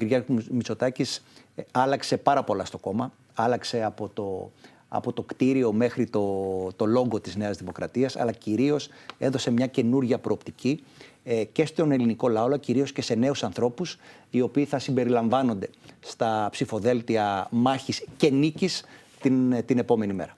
Οι πληροφορίες λένε ότι ένας από αυτούς θα είστε κι εσείς, αλλά επειδή ξέρω ότι περιμένετε πρώτα τις Έτσι είναι. ανακοινώσεις Ξέρετε ότι εγώ έχω εκφράσει το ενδιαφέρον μου να είμαι Γι' αυτό υποψήφιος σας το λέω. στην Καβάλα. Ε, θα δούμε. Νομίζω ότι πλησιάζει η ώρα. Σας ευχαριστώ πολύ, Εγώ κύριε σας ευχαριστώ, Λαζαρίδη. κύριε Μπελιγκόνη, να είστε Καλό καλά. βράδυ. Πάμε τώρα, κυρίες και κύριοι, στην τελευταία συζήτηση για απόψε. Καλησπερίζω την αναπληρώτρια εκπρόσωπο τύπου του κινήματος Αλλαγής, την κυρία Νάντια Γιανακοπούλου. Καλησπέρα σας. Καλησπέρα και σε εσάς. Καλή χρονιά. Καλή χρονιά με υγεία, με αισιοδοξία και με θετικές αλλαγές, θα έλεγα. Οι Έλληνες πολίτες θέλουν αλλαγή σελίδα, θέλουν μια καλύτερη ζωή. Και ελπίζουμε και γι' αυτό θα παλέψουμε, νομίζω, όλοι να, να κάνουμε καλύτερη τη ζωή όλων. Και εσείς θα παλέψετε, το λέω επειδή έχει ανακοινωθεί πια από το δυτικό τομέα της Β' Αθηνών, Της έτσι; Β' Αθηνών, εκεί πέρα που Ζώρικη ο κόσμος, περιφέρεια. ξέρετε, είναι ζώρικη περιφέρεια, αλλά είναι ο πιο πονεμένος, ο πιο δυσκολεμένος κόσμος μέσα στην κρίση. Και αν θέλουμε εμείς το Πασόκ και το κίνημα αλλαγής να ανακτήσουμε την επαφή μας με τα λαϊκά στρώματα, με τον κόσμο της εργατικής τάξης και με τους μικρομεσαίους, νομίζω ότι πρώτα απ' όλα πρέπει να, το, να ανακτήσουμε αυτή τη σχέση με τον κόσμο κάτω από το ποτάμι. Εκεί πέρα που είχαμε αναπτύξει μια σχέση ζωής, που δυστυχώς διαρρήχθηκε μέσα από την κρίση, είδε ο κόσμος τελικά τι σημαίνει να πει και η διακυβέρνηση του ΣΥΡΙΖΑ. Νομίζω επίσης ότι όλοι μπορούν πια να δουν, δεν περιμένουν κάτι περισσότερο ούτε από τον κύριο Μητσοτάκη, ειδικά ο λαϊκός κόσμος. Αυτοί οι οποίοι αλλάξαμε τη ζωή αυτού του κόσμου προς το καλύτερο, από το 81 και μετά με τον Ανδρέα Παπανδρέου, ήμασταν εμείς, το Πασόκ. Και εμείς είμαστε αυτοί που μπορούμε να το ξανακάνουμε. Ε, τώρα, ε, πριν πάμε στα οικονομικά, να δούμε λίγο όλα τα θέματα που αφορούν στη Συμφωνία των Πρεσπών. Ε, Καταρχάς, ε, θέλω να σας ρωτήσω πώς σας φαίνεται το ότι ε, πριν καν ε, προκύψει το διαζύγιο στην κυβέρνηση, ε, η χωριστή δρόμη Τσίπρα Καμένο, ε, έχουμε από την πλευρά του ΣΥΡΙΖΑ ε, μια αλλαγή στρατηγική. Στρέφεται προς την κέντρο αριστερά. Έχουμε την Κυριακή μια πολύ ενδιαφέρουσα εκδήλωση με αφορμή τη Συμφωνία των Πρεσπών, στην οποία μετέχουν α, πρώην υπουργοί, ε, πολιτικοί φίλοι του Κώστα Σιμίτη, άνθρωποι που μέχρι χτες ανήκαν στον περίφημο κύκλο των εξχρονιστών, ακόμα και στελέχοι που ανήκουν και στο κίνημα αλλαγής, όπως ο κύριος Μπίστης, ας πούμε. Σας Καθίστε ανησυχεί να αυτό, δούμε. δηλαδή ότι σας είπε μία, δύο, τρεις φορές ο ΣΥΡΙΖΑ ε, πάμε για την προοδευτική σύγκληση, είπατε όχι, και τώρα πάει να κατακτήσει το χώρο του κέντρου χωρίς εσάς. Είναι προοδευτικές οι πολιτικές που ασκεί ο ΣΥΡΙΖΑ τα τελευταία χρόνια και δεν το έχουμε καταλάβει, κύριε Μελιγκόνη; Είναι προοδευτική πολιτική το ότι είπε τα μεγαλύτερα ψέματα που έχουν ακουστεί ποτέ για να πάρει την εξουσία και αντί να ασκήσει τα μνημόνια, όπως είπε, ουσιαστικά υπέγραψε τρίτο και τέταρτο μνημόνιο, έχει υπογράψει πολύ βαριές δεσμεύσεις της χώρας για τα επόμενα χρόνια και όχι απλά δεν έχει εφαρμόσει φιλολαϊκές πολιτικές, έχει εξοντώσει εξοντώσει τη μεσαία τάξη. Έχει δυστυχώς αυτό το οποίο έχει φέρει είναι μία μιζέρια και μία φτωχοποίηση όλων. Και εν τέλει, η ερώτησή μου είναι η εξής. Είναι προοδευτική πολιτική; Όλες αυτές οι ομές παρεμβάσεις στους θεσμούς, στη δικαιοσύνη, όλα αυτά τα οποία βλέπουμε να συμβαίνουν τον τα τελευταία χρόνια, γιατί κυβερνάει τέσσερα από τα οκτώ χρόνια της κρίσης. Τι έχουμε δει λοιπόν μέσα σε όλα αυτά; Δυστυχώς ουδέν, τίποτε απολύτως. Τώρα στο τέλος της τετραετίας και αναζητώντας να επιβιώσει για λίγους ακόμη μήνες, θυμήθηκε ότι τελικά δεν τα βρίσκει με τον κύριο Καμένο και με το ακροδεξιό, ακραία δεξιό αυτό κόμμα. Τώρα λοιπόν το θυμήθηκε και θυμήθηκε να πάρει πολιτικό διαζύγιο. Όχι, συγγνώμη, δεν θα πάρουμε. Δεν είναι προοδευτική πολιτική όλο αυτό το οποίο έχουμε δει. Ο ΣΥΡΙΖΑ απέχει πάρα πάρα πολύ από οτιδήποτε προοδευτικό. σα ίσα ασκεί σκληρές δεξιές πολιτικές και δυστυχώς από την άλλη μεριά αυτές τις δεξιές πολιτικές τις επαγγέλλεται και ο κ. Μητσοτάκης. Η λύση λοιπόν της χώρας δεν είναι η συνέχιση αυτών των τοξικών πολιτικών, αλλά η πλήρης ανατροπή τους με ένα φιλολαϊκό προοδευτικό πρόγραμμα και κυρίως με το να πάμε απέναντι, κύριε Μελιγκόνη, στο διχασμό. Τον διχασμό που και ο ΣΥΡΙΖΑ και η Νέα Δημοκρατία προσπαθούν να ενισπείρουν ακόμη περισσότερο στην πολιτική ζωή της χώρας, μόνο και μόνο για τα μικροκομματικό της ωφέλη. Γι' αυτό λέμε δυναμώστε μας για να επιβάλλουμε εθνική συνένεση και προοδευτικό πρόγραμμα. Τώρα, από ό,τι καταλαβαίνω, η εκδήλωση της Κυριακής και ενδεχομένως και όσοι ακολουθήσουν δεν σας ανησυχεί. Θέλω να σας ρωτήσω όμως, τόσο καιρό όταν ε, υπήρχε στο δημόσιο διάλογο ε, θέμα σύγκλησης των προοδευτικών δυνάμεων, λέγατε μα, με ποιους, με τους ε, συγκυβερνήτες του Καμένου. Την άλλη εβδομάδα μπορεί να μην είναι συγκυβερνήτες του Καμένου. Γι' αυτό σας ρωτάω. Αλλάζουν τα πράγματα. Το θυμήθηκαν πάρα πολύ όψιμα, μόνο και μόνο για λίγους ακόμη μήνες στην καρέκλα. Ευχαριστούμε. Δεν θα πάρουμε, σας το είπα και πιο πριν. Δεν δεν γίνονται έτσι. Ούτε οι συνεργασίες, ούτε οι ευρύτερες συνενέσεις, κύριε Μελιγκόνη.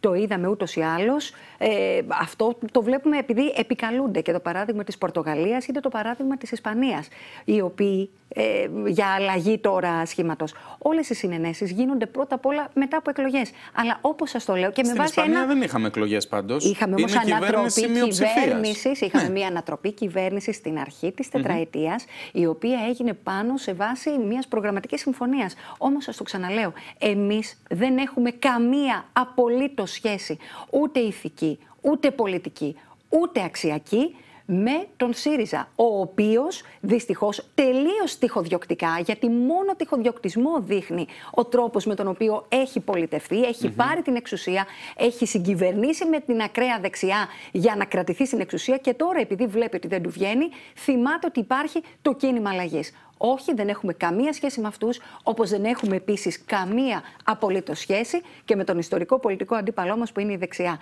Είμαστε απέναντι στη δεξιά και απέναντι στον τυχοδιοκτισμό, τον εθνολαϊκισμό ε, και όλο αυτό το οποίο βλέπουμε να φέρνει ο ΣΥΡΙΖΑ, ο οποίος έχει πάρει διαζύγιο εδώ και πάρα πολύ καιρό, κύριε Μελιγκόνη, με τις αρχές και τις αξίες της αριστεράς. Ε, παρόλα αυτά, λέτε ότι είστε απέναντι και στους δύο. Ε, πέρα από τις αποστάσεις, η κεντροαριστερά με την αριστερά μπορούν να θεωρηθούν όμοροι χώροι. Εγώ... Κάτι τέτοιο είπε πρόσφατα ο κύριος Μαλέλης, ο γραμματέας επικοινωνίας σας. Γι' αυτό σας ρωτώ. Επιτρέψτε μου να διαφωνήσω καταρχάς με το χαρακτηρισμό ίσε αποστάσεις. Εμείς αυτοπροσδιοριζόμαστε. Και όταν αυτοπροσδιορίζεσαι και λες ότι εγώ είμαι η σοσιαλδημοκρατία και η πραγματική κεντροαριστερά, ε, τότε δεν χρειάζεται να παίρνεις το, υποδεκα... το υποδεκάμετρο και να μοιράζεις τις αποστάσεις. Εμείς λοιπόν αυτοπροσδιοριζόμαστε. Την ερώτηση αυτή, δηλαδή το πώς προσδιορίζονται στον πολιτικό χάρτη μπορείτε να την κάνετε και στα άλλα κόμματα. Εμείς όμως είμαστε η σοσιαλδημοκρατία και η κεντροαριστερά στη χώρα μας. Από εκεί και πέρα η θέση του κόμματός μας είναι ξεκάθαρη. Έχει εκφραστεί και έχει ψηφιστεί τόσο στο συνεδριό μας, στα συλλογικά μας όργανα. Εκφράζεται από την πρόεδρό μας, τη Φόφη τη Γεννηματά, που είναι αυτή ακριβώς που σας είπα. Είμαστε η κεντροαριστερά και δεν είμαστε απλά επειδή το δηλώνουμε, κύριε Μελιγκόνη. Είμαστε επειδή έτσι κυβερνήσαμε τη χώρα από το 81 και μετά και η πρώτη πραγματικά αριστερά κυβέρνηση ήμασταν εμείς και ήταν ο Ανδρέας Παπανδρέου και η κυβέρνησή του που άλλαξε το mm-hmm. ρου της Ελλάδας και έφερε στο προσκήνιο τους, ε, το άλλο μισό του ουρανού, τους περισσότερους στην τριπτική πλειοψηφία των Ελλήνων που, που ήταν στο περιθώριο. Κάναμε πολιτικές φιλολαϊκές και πραγματικής και δίκαιης αναδιανομής. Βεβαίως κάναμε και λάθη. Και όλα αυτά τα πληρώσαμε και αν θέλετε τα πληρώσαμε πάρα πολύ άδικα. Επειδή όμως είμαστε, όπως σας λέω, έχουμε όλη αυτή την γνώση, την εμπειρία, έχουμε Μάλιστα. μάθει από τα λάθη μας, προχωράμε μπροστά και διεκδικούμε το ρόλο μας. Ένα ρόλο πρωταγωνιστικό στο πολιτικό σκηνικό. Όχι ως συμπληρώματα είτε του ΣΥΡΙΖΑ είτε της δεξιάς. Σε καμία περίπτωση. Τώρα, επειδή πιέζει ο χρόνος, θέλω να σας ρωτήσω κλείνοντας με δύο κουβέντες να μου πείτε ε, γιατί επιμένετε ως κίνημα αλλαγής, ενώ ως ηγεσία, να στέλνετε μηνύματα περί κομματικής πειθαρχίας στον κύριο Θοχαρόπουλο; Από την Αγίου Κωνσταντίνου διαβάζω στα ρεπορτάζ ότι απαντούν πως η κομματική πειθαρχία δεν αφορά τη Δημάρ, με την έννοια ότι είστε ένας πολυκομματικός φορέας ως κίνημα αλλαγής. Βεβαίως και είμαστε ένας πολυκομματικός φορέας, όπου βεβαίως υπάρχουν και διαφορετικές προσεγγίσεις πάνω σε πάρα πολλά ζητήματα. Όμως υπάρχουν συλλογικές αποφάσεις, όπως επίσης υπάρχουν και συλλογικά όργανα. Άρα υπάρχει, θέμα διαγραφής το αν ανώτατο- υπερψηφίσει της Συμφωνία των Πρεσπών. Εγώ θα σας πω το εξής. Δεν αυτά είναι ούτως ή άλλως αποφάσεις οι οποίες ε, ρυθμίζονται από τα αρμόδια όργανα και πρωτίστως και από την πρόεδρο του κινηματο Από εκεί και πέρα, εγώ αυτό το οποίο ξέρω είναι ότι το κόμμα μας. Το κίνημα αλλαγής έχει συλλογικά όργανα τα οποία το εκφράζουν. Και έτσι πρέπει Πάντως, να στην τελευταία παίρνονται οι συνεδρίαση για τη αποφάσεις. Συμφωνία των Πρεσπών ήταν ένα-πέντε το σκορ. Αυτό ήταν όλοι μιλάτε απέναντι προφανώς και η για το- κυρία Γεννηματά ήταν η Λοιπόν, μόνη για που να είπε το πούμε, όχι. Χαίρομαι πάρα πολύ που μου κάνετε αυτή την ερώτηση, γιατί αυτό πρέπει να το πούμε και να ακούγεται, για να μην δημιουργούνται ε, παρερμηνίες. Το Πολιτικό Συμβούλιο ήταν ένα άτυπο όργανο. Δεν είναι ένα όργανο όπως είναι πρώτα απ' όλα το συνέδριο, η Κεντρική Πολιτική Επιτροπή, η Εκτελεστική Γραμματεία ή η ίδια η Πρόεδρος. Και μπορώ να σας πω ξεκάθαρα ότι σε όλα τα όργανα, τα θεσμοθετημένα όργανα του κινήματός μας, οι αποφάσεις μας είναι ομόφωνες ή πλειοψηφικές και εκφράζουν αυτό το οποίο εκφράζει η συντριπτική πλειοψηφία του κόσμου μας. Μάλιστα. Και είναι απέναντι στη Συμφωνία των Πρεσπών. Η Συμφωνία των Πρεσπών, και να κλείσω με αυτό, είναι μια κακή συμφωνία, δεν διασφαλίζει τα εθνικά συμφέροντα. Δυστυχώς ανοίγει περισσότερα θέματα από αυτά τα οποία κλείνει. Δεν ισχύει το έργα όμνες με την υιοθέτηση δυστυχώς της μακεδονικής γλώσσας και ηθαγένειας. Ανοίγει ζητήματα για τις επόμενες γενναίες. Μάλιστα. Δεν είναι όπως τα οικονομικά θέματα που μπορούν να κλείσουν. Και εμείς, και το λέμε ξεκάθαρα, θα καταψηφίσουμε αυτή τη συμφωνία οποτεδήποτε και αν έρθει στη Βουλή. Κυρία Γιανακοπούλου, σας ευχαριστώ θερμά για τη συζήτηση Εγώ που σας είχαμε. ευχαριστώ Καλό πάρα σας πολύ. βράδυ. Να είστε καλά. Κυρίες και κύριοι, εμείς λίγο πριν κλείσουμε, να σας υπενθυμίσουμε ότι το κεντρικό δελτίο ειδήσεων του σταθμού μας μπορείτε να το παρακολουθείτε είτε απευθείας είτε την ώρα που εσείς επιλέγετε από την επίσημη σελίδα μας στο Facebook. Αυτές ήταν οι ειδήσεις της ημέρας μέσα από το φακό του Κόντρα. Όλοι εμείς σας ευχαριστούμε που μας εμπιστευθήκατε και σήμερα για την ενημέρωσή σας, η οποία εδώ στο Κόντρα είναι ο πρωταγωνιστής. Καλό βράδυ, καλό ξημέρωμα.